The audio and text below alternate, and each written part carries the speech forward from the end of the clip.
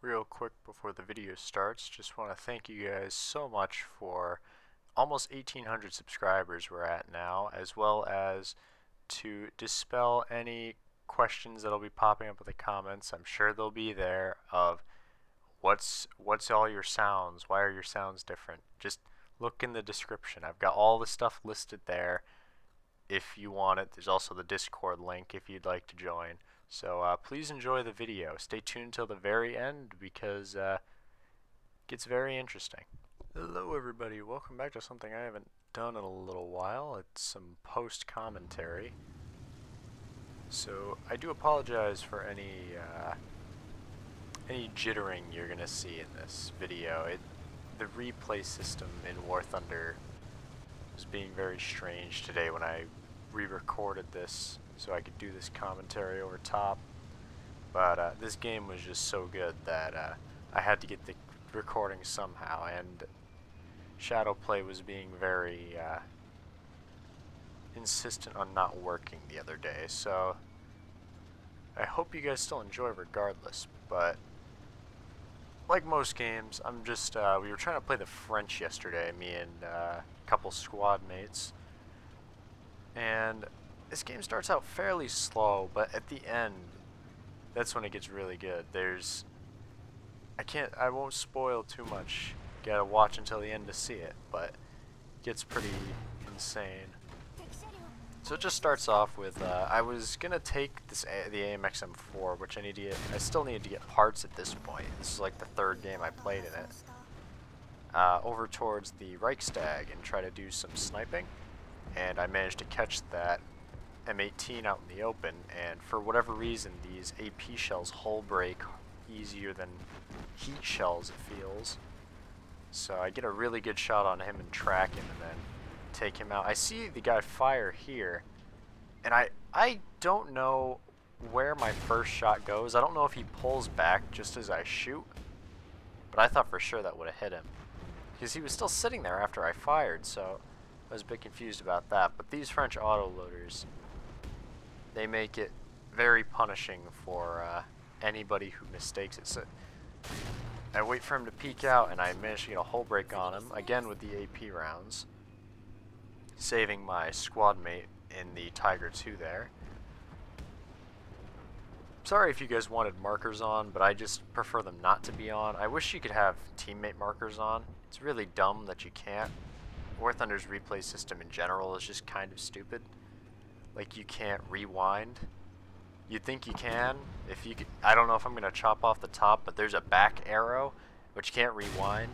So I catch this M18 rushing forward, but the smoke from my gun flash made it so I missed that guy until I moved forward and he manages to get my breach. And like I said before, I didn't have tracks yet. I think he got my horizontal as well. So I just try to kind of wiggle to bounce a shot, but he shuts me down.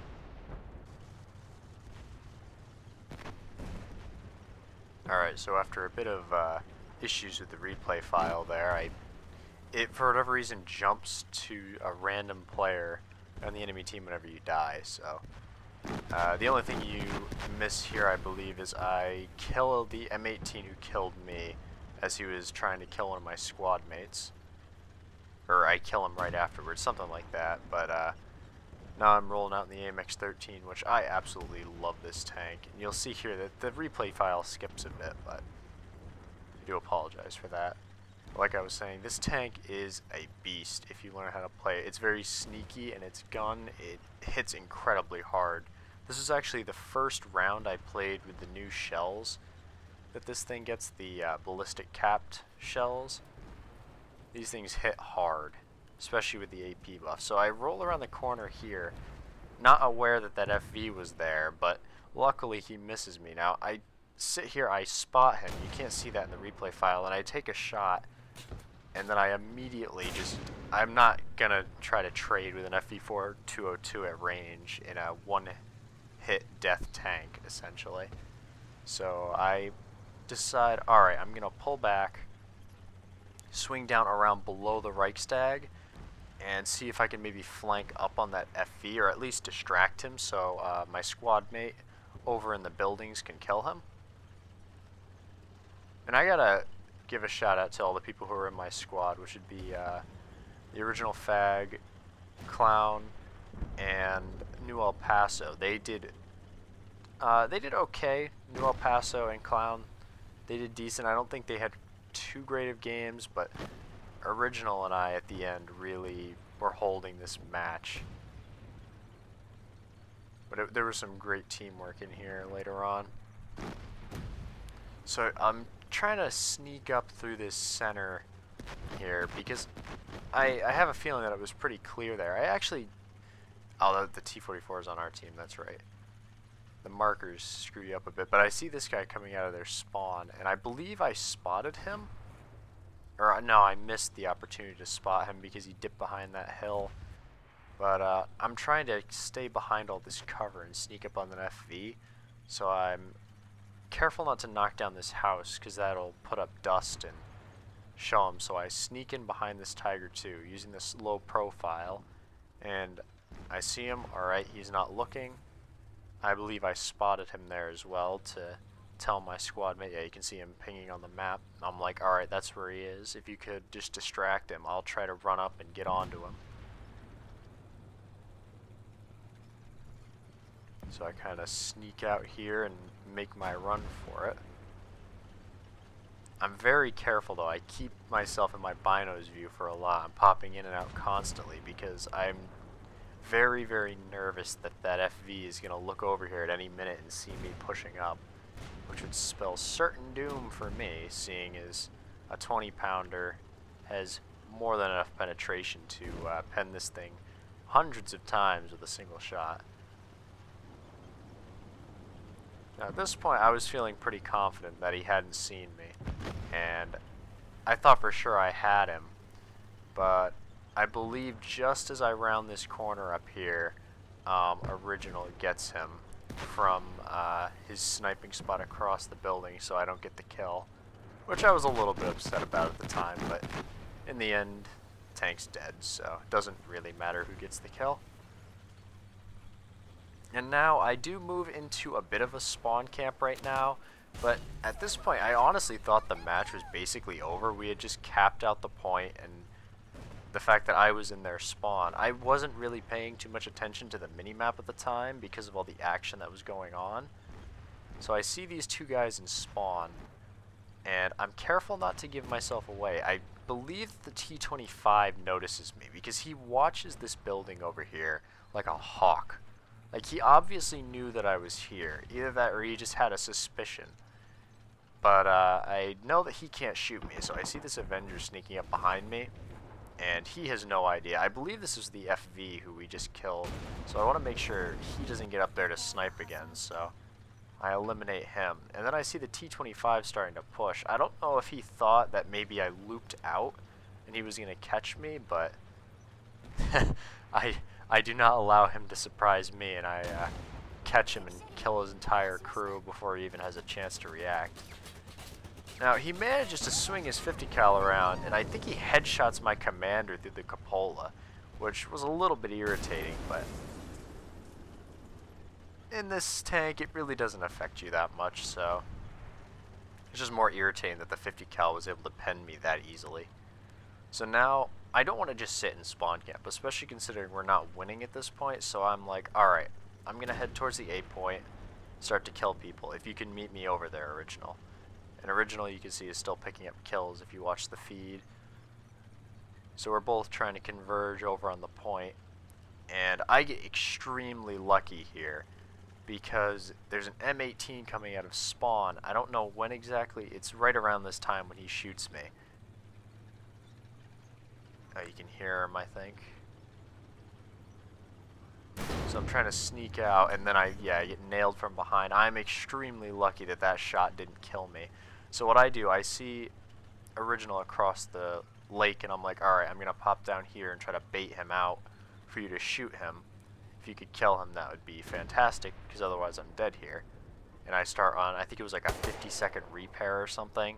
So I go ahead and pop smoke so that guy or anyone else coming out of their spawn can't kill me. And Original is able to cover me there for part of my repair. I believe he has to engage someone, but Uh, this is the sort of teamwork that I was talking about. Just knowing where your allies are and being able to use them to your advantage when you can. That's why I really prefer playing with a group of people as opposed to playing by myself. Because you just can't do stuff like this on your own. There's no way I could have won this match if it wasn't for uh, my squadron members, or even just the other random people in the match, but it, as much as they did, they didn't guarantee us the win. But still, shout out to all of them, who they really did some work. Especially this K4, I think he ended up with like a plane ace by the end of the match. So Original ends up getting that M18. I don't know if the M18's breach was down or something, but he just ends up dying. And I start to make my way up. I'm like, alright, I'm going to hit this road so I'm not driving through the swamp of the mud over there. And I figure, alright, that M18 could be respawning. I'm just going to swing by the spawn because we're outnumbered heavily right now. So anyone I can eliminate. And I just catch this guy. I I was really surprised I got the kill on him. I couldn't even tell what it was, but I managed to snap a shot and kill that land down under tank. And now I move in. I wasn't planning on just sitting here and spawn camping. What I was going to do is just kill anything I saw immediately coming out to hopefully eliminate some of their players like this Jumbo who could have really turned the match around for them. But I don't get the chance to get out of there because that Crusader catches me. And now, cutting back, uh, I believe orig Original dies to an FV immediately after I died, so we're both respawned. And I see this M18 who I was, I had heard them saying that we were being spawn camped, so I'm able to catch him. And this M10, or I believe it's an Achilles, I don't know what this guy was doing, but I managed to take the shot into the track for the first one. And I don't know what he, he was just very, very timid about how he was playing here. And in the end, it's what got him killed because, granted, he was going to have trouble penning either of us, but the, the way that he played, he just basically baited up and tried to bait our shots, but then when he did bait the shots, like there, he didn't act on it. He, I mean, he tries to peek up here, but he doesn't pull the trigger, so I don't know yeah, he does finally fire there, but he completely misses, and I'm able to get his turret. So, don't know what his plan was, but didn't work out in his favor, that's for sure. Now, I see that we are bleeding tickets heavily, and I know that there is no way we're going to win this by kills alone, so... With the mobility on the Arl, I... I'm... Like, there's a 50-50 chance that I can make it to the cap if I just go straight there. So I put the pedal to the metal, so to say, and just floor it in there.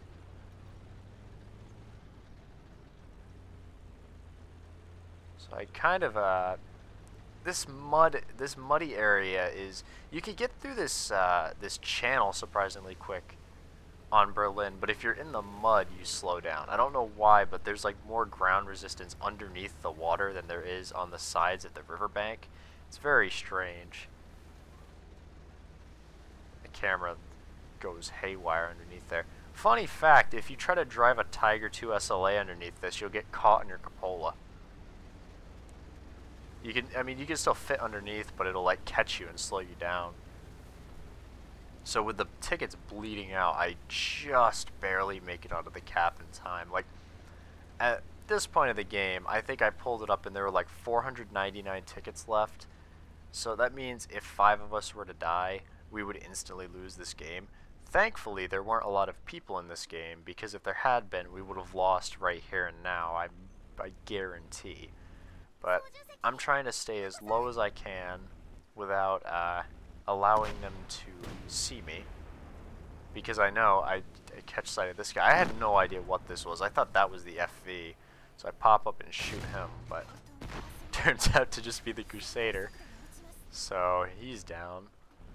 And now I'm still trying to stay low because this tank is surprisingly weak to artillery and planes because it has such weak top armor and such a big turret. So I'm trying to stay in the water because water, for whatever reason, can absorb explosions like you would not believe. And I, I'm very glad that I did this because I managed to pull around and snap the shot on that P-39, blow him out of the sky. Just the icing on the cake of an already great match. I mean, I'm already up to 13 kills with that plane included, so this was going to be a good match either way. But it's what happens here that just...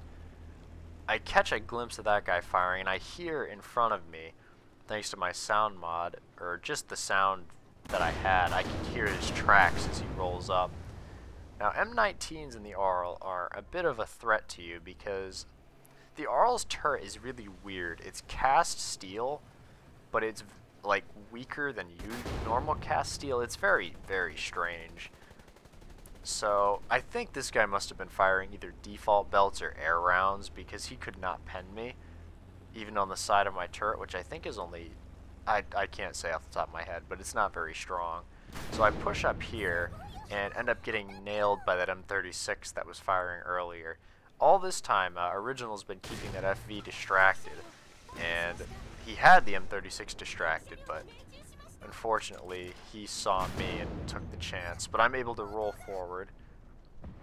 I take a hit from the FV there, it knocks out my breach, but I just kind of machine gun this mound to throw up smoke. But I'm more immediately concerned about that M19, so I kind of keep wiggling my turret back and forth to just keep angling to whichever threat is the closest. Seeing as the FV has to worry about a Tiger 2 anyways. So I'm repping. I'm surprised I hadn't lost any crew members at this point because I took like two or three penetrating hits there. Which normally in the Arl is like a death sentence, but I'm trying to sneak a shot in between to get this M19, but I'm mainly just staying locked down on this cap point. And at this point, I was just in the Discord. I'm just like, original, don't die. Just stay alive a little bit longer. And I managed to catch that M36 as he makes a desperate push in. But these guys just waited too long. If the FV had pushed, or this M19 had pushed, they would have had a sure victory here. But we're able to stall them enough. And watching these tickets bleed out, one of the best feelings I've had in War Thunder in a long time. And right as the game ends there, I'm able to snap a shot in, not quite kill the FV, but crit him. And then the game ends, and I was in recovery for a couple rounds after that match, let me tell you. so let me know what you guys think of this, and if you have any matches that uh, you did insanely well and that you would like to send in, and maybe I'll do a post commentary on them if they're good enough. So I'll catch you guys in the next video.